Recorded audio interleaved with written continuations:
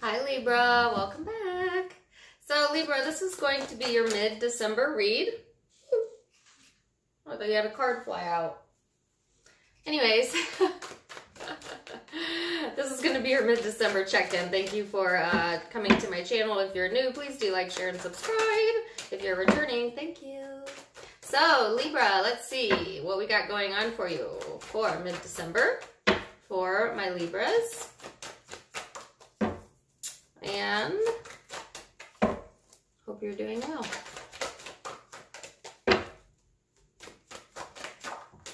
So Libra, the energy that you have out is the Nine of Pentacles, which is talking about comfort.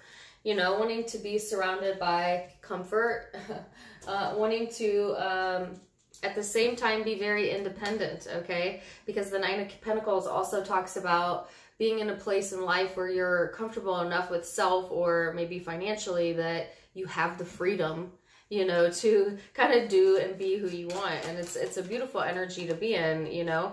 Um, so i feel like you're gonna be uh, i guess focused on that you know either building that up or just simply appreciating where you're at.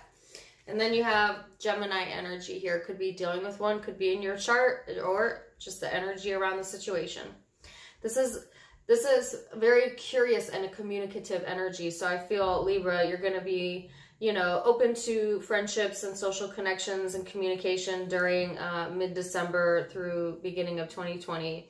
This is all about that social piece of you and feeling connected, um, feeling confident as well. You know what I'm saying?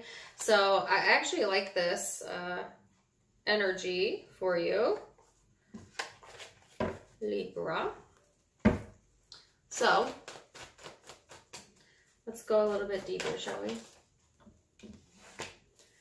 And then you have the Four of Cups out. So I do feel like, I like when this card came out, I just want to tell you this. It was out of the blue. My heart sank.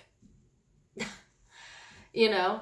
Um, and then I look down and, and what come out is the Four of Cups, Ten of Swords. So I feel like this is past energy, but it's heart, it's heart sinking energy and it's really, really affecting me right now. I'm tearing up. so I feel like, you know, in the past, um, you may have really underwent some painful emotional things that you had to go through, um, you know, in order to put you in this place now where you're more self-confident and independent. Um, so in that respect, you came out a better person out of the other end of this. But on the other respect, you don't easily heal from wounds that deep, you know. And um, although I do feel that you're you're doing a much better job of distancing yourself from that, I, I do feel that it's it's still present to some degree or another. And I feel like for a lot of you, this is being brought back to the surface because of you know, some communication that you're getting. If you've had an ending here, somebody wants to reconcile and they may be communicating that with you. And it, it kind of, in a way, puts you back into remembering what this person did. You know? And I think maybe you thought you had let it go, but I don't think that you you had fully let it go because there's still disappointments here Okay, for others of you that didn't have an ending, this is just simply the energy of reconciling in yourself what you need to feel and what you need to reconcile in order to move forward and leave this disappointment in the past. You know, leaving the past in the past. That was an unexpected and a heavy energy there. So, um, I feel now you can you have Libra in any placement, but I feel like my Libra moon people will feel this um, deeper than the Libra suns, but you know, take it as it resonates. It's for both. Okay. Then here's the Seven of Cups. This is a confusing, confusing energy, and it's also a delusional energy. So I feel like it's like here comes the sun, you know, for you Libra, and your social circle is being highlighted. There might, like I said, there's a lot of communication or opportunities to connect here. But at the same time, sometimes you get stuck looking at, you know, past disappointments that get you all in your head, it gets you in your emotions, it gets you confused.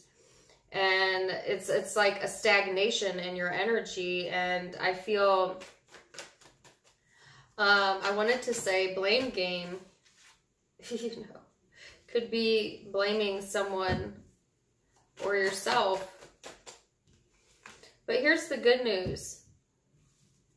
Here comes the sun, sweet darling. Here comes the sun.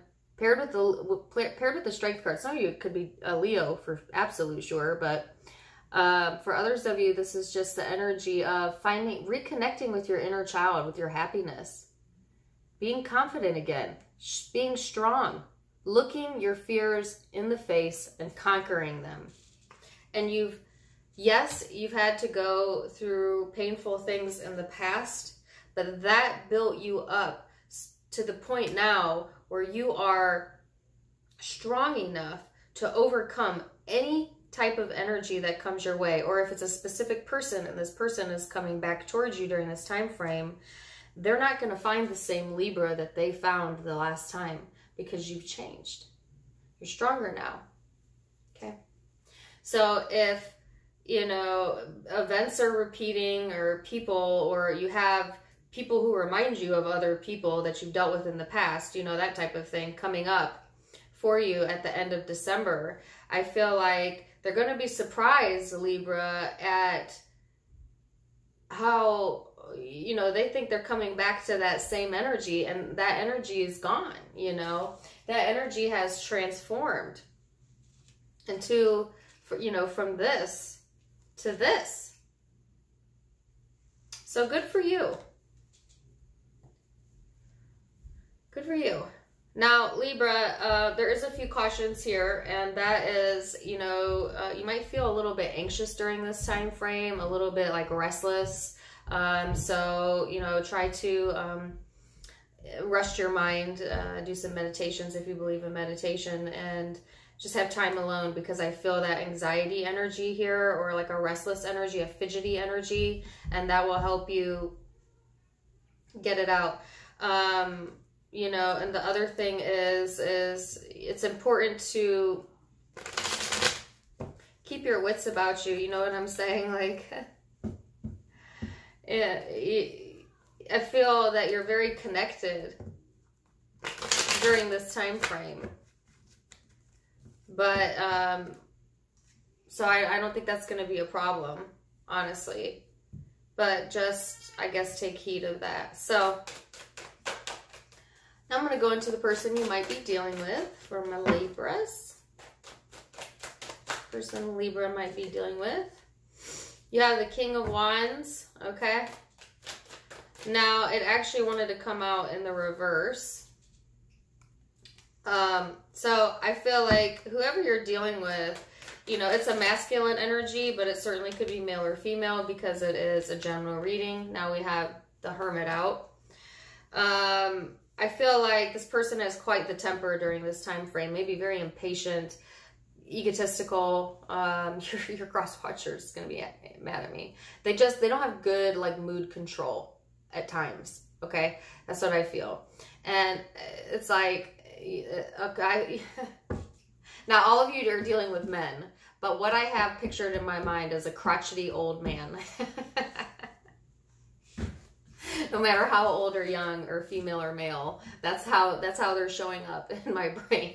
This Is a crotchety old man. Your cross watchers are definitely giving me a thumbs down right now. I just read the cards, people. All right. Oh my gosh. King of Cups. Are you freaking kidding me? Four of Pentacles and the High Priestess. Well, that's exactly what I was talking about, wasn't it, Libra? This person has multiple personalities or multiple sides of their personality that they show you. And it's because they don't have good temper control. They don't have good temperament. They have not learned uh, how to necessarily control that within themselves. So it, it's certainly confusing to you because it's confusing to this person. They haven't learned that skill yet, or at least during this time frame, they're having trouble really getting it together, okay? Because I have the King of Wands in the reverse and this person's energy, the Hermit, and then the King of Cups. So it's like, you know, one minute they're emotionally open and viable, the next minute they're closed off, and then they're maybe angry, and then back and forth, back and forth, you know? Um, I just feel a lot of erratic energy over here. Um, then they have the Four of Pentacles, which is a fixed nature about this person. It could certainly be a fixed zodiac sign, um, but doesn't have to be. But it, it's a, like a, a fixed position of this person. They might be a very stubborn person. They might be difficult to someone that's difficult to change their mind or sway them or push them any other uh, any other way that they want to go. Very self self assured well, the, quite smug for someone that has very little emotional control, I'd say. you know, it's like, uh, you know, you're quite confident for someone who hasn't figured it all out, you know. Um, High Priestess here, though. So I do feel there's more than what, you know, you know, goes on. There's more going on underneath than I think that that you know, okay? Um, because this is kind of like a reading between the lines type of energy. This may this person may have a bad habit of reading between the lines uh, as well, Libra. This is your 10 of swords person. This is the person that's hurt you in the past. You know, they just got the 10 of swords. You had it in the uh, beginning of the reading.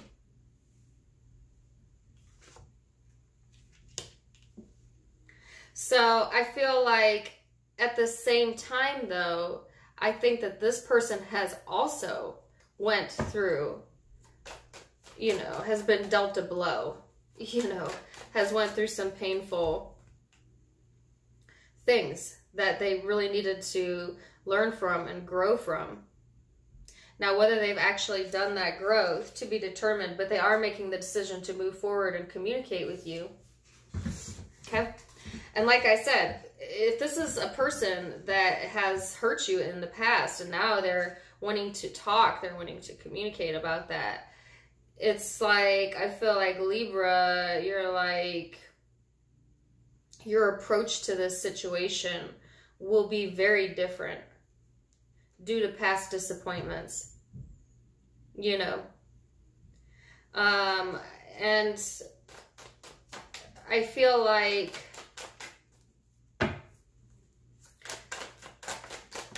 that may confuse this person. I wanted to say shock, but I got the Seven of Cups. I thought for sure I was going to get the Tower out. But I got the Seven of Cups.